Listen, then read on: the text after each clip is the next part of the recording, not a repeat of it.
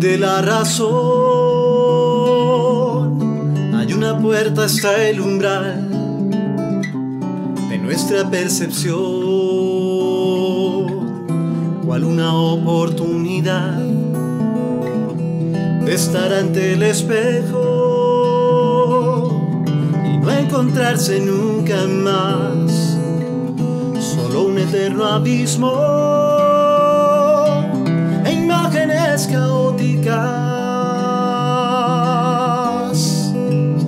tan solo cual guerrero de actos impecables podrás sobrevivir al peso de la realidad. No hay nada más que hacer que ir al horizonte y enfrentar al sol.